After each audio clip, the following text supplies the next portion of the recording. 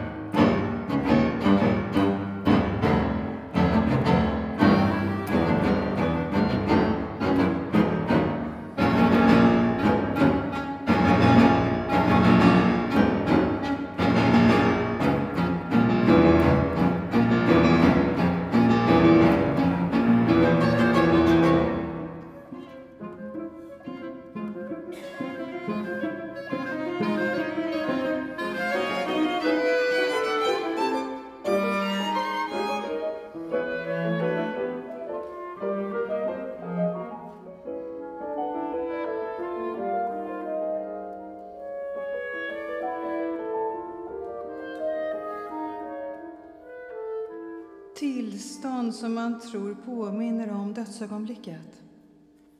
När vi drömmer och när vi blir sövda med eter.